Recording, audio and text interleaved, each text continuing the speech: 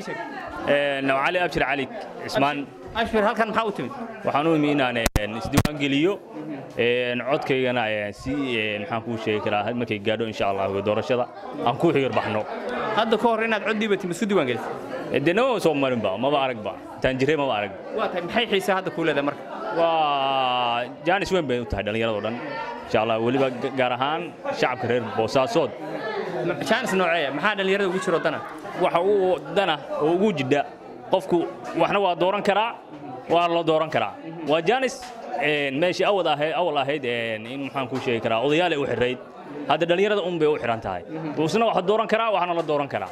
Muhiimadda marka waa xiisidda intaa waay aad baa u mahadsantahay magacaygu waa cabdinaasir axmed jimcaale waxaan aad ugu faraxsanahay maanta inaan codeeyo inaan mataqaanaa iska diiwaangeliyo mid ka mid a seejooyinka la iska diiwaangelinayo magaalada boosaaso runtii aad baan ugu faraxsanahay in markii ugu horreysay ka dhacayso doorasho puntland nasiib baan u yeelannay waxaan rajaynaya shalayna ka faa'iidaysano doorashada muhiimadda ay leedahay waxaa weeye inaan dooranno qofkii bulshada hogaamin lahaa.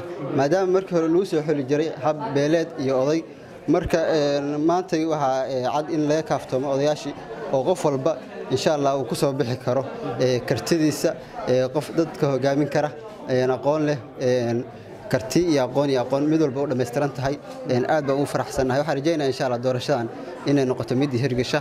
Insha allah dadka bulshaweynta reer puntland waxaan ugu baaqaya insha allah inay iska diiwaangelinayaan iska diiwaangeliyaan meelaha ay doorashooyinka ka dhacayaan. Runtii aad baan ugu soo dhaweynaya oo fursad qaali ah bulshadana waxaa leeyahay halaga faa'iidaysto ha lagu dhiirado insha allah goobaha codbixinta guryahana laga soo baxo. Qof walba waxaan rajaynaya insha allah inuu iska diiwaangelin doono. Waa xilli kulul oo duhur iyo casar u dhaxaysa dadku wakhtigan oo kale guryahooda ay jiifaan. Maxaa kugu kalifaya isleedahay inaad halkan taagnaatid oo saa samaysid? Dareenka gaarkaa kuu samaynaysa muxuu yahay duhurkan ujeeddadana soo saartay waa la dareemi karaa maadaama ay jirto codeen haddii ay noqoto haddeer waa duhur saq dhexe insha allah waxaan rajaynaya insha allah inaan u soo baxno aan isdiiwaan gelinno aan ka dhaweyno fariintii uu diray madaxweynaha deni siciid cabdullahi deni madaxweynaha puntland. Insha allah waxaan rajaynayaa inay doorashadan doorashada xigta lagu soo bixi doono qof walba inuu gacantiisa insha allah ku codeyn doono qof dadka ay u baahan yihiin doorteen insha allah inuu soo bixi doono. Magacii waa askari aadif manax xasan sakariya halkan maxaa u timid? Diiwaangelinta u imaado seejadan magaceeda ma taqaan sida diiwaangelinaysa meesha magaceeda ma garanay laakiin inaas diiwaangeliya u imaado qaybtan inaad isdiiwaangelisa waa u timid. Waay sababtaa isku diiwaangelis maxay tahay waxaan rabaa nidaam horumarsan oo inaan codkay ku ciilbaxo baa rabaa codkii xor oo waay. Baa rabaa inaan dhiibto. Qof gaar aan soo saaro qofkii raba. Gacshe halkan maxaa u timid inaan isdiiwaan geliyo oo codkayga ku shubto meesha adiga hadda da ahaan waa ila muuqaal yar tahay intee weyd aadaad siddeed iyo toban sideed wisir baad haa waa tahay halkan waa iska diiwaangelinaysaa mustaqbalka waxaa rabtaa inaad codayn aad u gudubtid haa saas maxaa xiise ay kuu leedahay maxaa keenay inaad mataqaanaa xilligan kulaylka halkan aad taagan tahay oo dabcan aad isdiiwaangelinaysa waxa iyaga mataqaana waagi hore macnaha isdiiwaangelinta waa yarad iyo dadka rafaada iyo dhibbay ku qoyan gowdhe oo wax kaleto soo maaha inaan isdiiwaan geliyo hadda halkan dadka arrintii oo soo fududaatay iyo inaan codkayga ku shubto macnaha. Aad baa mahadsan tahay. Maamadan baa iyana inoo dhow. Maama magacaaga? Asalaamu calaykum maamo magacayga waa saynab waxaan jecel lahay dalkayaga iyo dalkayaga iyo dadkayaga inaan isu dawaangelino waxaanu jecelnahayna u sheegno waa misdiiwaangelis hadda hadda waa isdawaangeliya haa haye. Saasaan jecelnahay marka inaad codaysid baa isku diiwaangelisay inaan codaya baan isu dawaangeliyo maxaa xiise ay ku leedahay inaad isdiiwaangelisid waa xilli kulul waa gurigaaga baa ka soo kacday waqtigaan aad taagan tahay halkan buuq badan baa jira buuqa badan iyo waxa jira oo dhan waa la soconnaa waxaanu isu soo dawaangelinay weeye daraaddood weeye saa weeye faa'iidadaas leedahay aad ku gaartiin inaad codkiina dhiibataan oo isdiiwaangelisaan hadda. Maxay tahay? Maasha allah faa'iidadaanu ku gaaray waa dalkayaga iyo dadkayaga weeye maasha allah taasaanu ku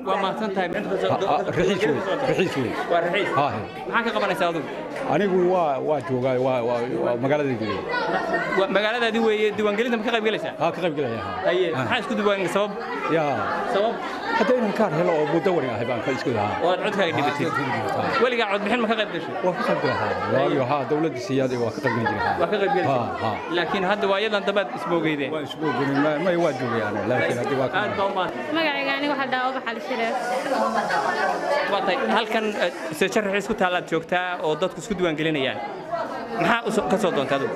Waxaan ka soo doonay inaan iska diiwaangeliyo codbixinta qof iyo coda la codaynayo baan rabaa inaan ka qayb galo. Isdiiwaangelisa hadda marka. maya waa markii ugu horreysay aan isdiiwaangeliyo hadda laakiin waa kuu dhammaatay oo waad samaysay diiwaangelinta. Haa waa sameeyey. Waad ma- maxaad is leedahay aad ku gaartid? Ujeeddada isku diiwaangelinaysa maxay? Ujeeddada isku diiwaangelinayo waxay tahay inaan arko boosaaso mataqaanaa meel wanaagsana maamul wanaagsan inaan helno. Dee qof iyo cod cod codkayga aniga waxaa rabaa inaan ku codayn karo codbixin fiican yani inaan codeeyo baan rabaa si fiican u codeeyo. Bakaarka u qaatay diiwaangelinta safiya cabdullaahi cali. Shafi halkan maxaa u timid? Waxaa u imaaday inaan doorashada qofkii coda ka qayb qaato. Saa isu diiwaangeliya baa halkan u imaaday. Hadda diiwaangelinta muxuu dhammaatay diiwaangelinta may way socotaa sawirka way haray. Sawirka laga qaado waa tahay waa xilli kulul dabcan saan dareemaysaan dad kaleba weydiiyey wa- qorraxdu waa kulushahay waa maxaa halkan is leedahay? Waa kugu dhiiragelisay inaad timaadid oo xilliga kan meeshan aad soo istaagtid waxaa igu dhiirigeliyey in badan baa ku haminayay inaan dalkayga aan ku arko anoo doorasho qof cod gelaya oo ku een, hagar baxaya codkayga qofkaa rabo aan ku dooranayo. Waxaan rajeynaya inaan ka mid noqdo xildhibaanada lagu dooranayo golaha deegaanka boosaaso. Qof iyo cod inaan ka mid noqdo insha allah rajeynaya ugu soo bixi doonaa. Marka codkaaga rabtaa inaad ku goosatid? Codkayga raba inaan ku goosto aan wax ku doorto madax ku doorto anigana saas oo kale sida loogu doorto xildhibaan? Xildhibaan ka mid ah xildhibaanada golaha.